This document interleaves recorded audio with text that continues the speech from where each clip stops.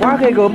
Xin chào anh em đã quay trở lại với Max Skill và trong video đánh giá tiếp theo này, chúng ta sẽ tiếp tục đến với chủ đề về những chiếc bàn phím cơ giá rẻ. Và Blitzgolf sẽ quay trở lại với mẫu bàn phím cơ khá hay ho, mang tên là BWKB0 gọi nhanh là KB0 cho dễ nhớ. Cách đây không lâu thì kênh cũng đã mang đến cho anh em hai mẫu bàn phím cơ cũng đến từ Blitzgolf là chiếc KB1 và KB2 dù rằng là phiên bản mới nhất của công ty này, nhưng KB0 lại là mẫu bàn phím rẻ nhất với giá bán chỉ từ 700k. Tuy chỗ ở là ăn được rồi, mà anh em có thể tham khảo ngay ở đường link bên dưới. Còn sau đây sẽ là đánh giá chi tiết về sản phẩm cho anh em dễ hình dung.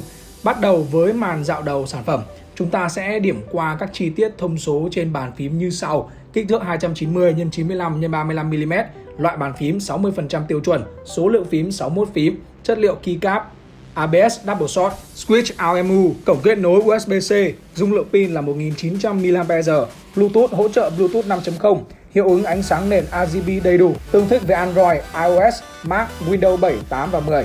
Như vậy có thể thấy ngay rằng chiếc KB0 này sẽ có thông số kỹ thuật gần như tương đồng nhưng có một điểm lưu ý là chức năng chống nước theo tiêu chuẩn IPX4 đã không còn nữa. Cùng với đó là phần switch cũng chuyển sang sử dụng switch AOMU thay vì Gate Run trên chiếc KB1 đi trước cũng như là số lượng phím cũng giảm từ 63 xuống 61 phím và đây cũng là những điểm giảm giá chính để giúp cho con hàng KB0 có mức giá rẻ hơn kha khá so với mẫu KB1. Việc giá bán giờ đã giảm khá nhiều nhưng vẫn có nhiều lợi thế như là switch có thể thay nóng, có Bluetooth 5.0 hay đặc biệt là có tùy chọn màu trắng nhìn khá đẹp mắt sẽ là những thứ hay ho về con bàn phím này để cho anh em có được thiện cảm ngay từ đầu.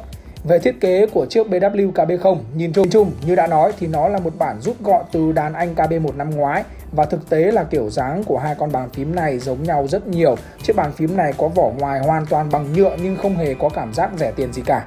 Rất chắc chắn, cứng cáp và cảm giác cầm nặng tay. Trọng lượng được phân bố đều. Phần mặt đế chứa switch sẽ được đậy bằng một tấm kim loại. Thiết kế keycap được nổi lên cao một chút để lộ một nửa switch ở bên dưới và tràn ra xung quanh khung bàn phím. Có lẽ nên gọi đây là kiểu thiết kế tràn viền như điện thoại.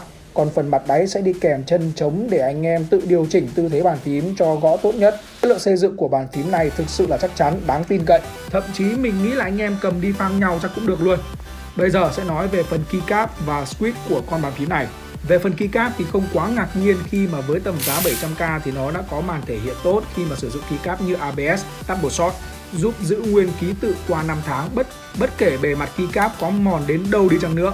Các ký tự trên keycap cũng được ờ, khắc rất tốt, to rõ, tỉ mỉ và cũng vì thiết kế 61 phím bấm mà số lượng phím chức năng phụ trợ thông qua nút Fn cũng rất lớn. Bên cạnh phần keycap thì phần switch cũng là một điều đáng nói khi mà Blitzgolf đã sử dụng switch ở Altemu thay vì là Gateron và như đã đề cập, đây cũng coi như là một điểm cắt giảm Thực tế mà nói thì bàn phím hỗ trợ thay nóng switch nên là anh em không thích thì có thể đổi switch khác rất thoải mái, không sợ gì cả. Còn về đánh giá chất lượng switch mặc định trong video này thì à, cái mình sử dụng là Pro Switch vốn là niềm yêu thích chung của mấy thằng trong văn phòng này. Với lực gõ êm mượt mà không quá ồn ào nên là rất phù hợp để gõ văn bản.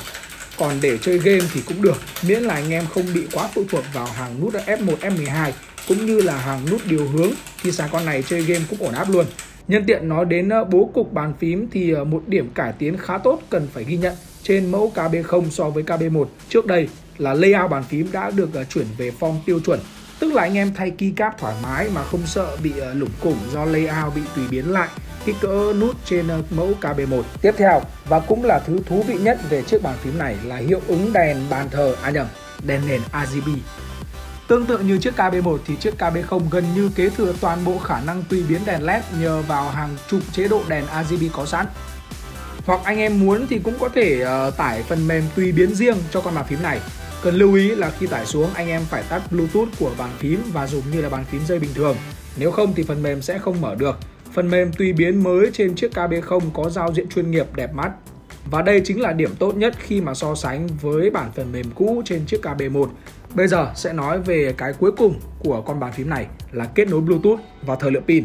Về kết nối Bluetooth thì tương tự thằng anh KB1, chiếc KB0 cũng hỗ trợ kết nối Bluetooth 5 cho. Dù sao đây cũng là một cách rất thông minh của Blitzgolf giúp tương thích với nhiều loại thiết bị smartphone, tablet, PC, laptop hay là Mac trong phòng của anh em.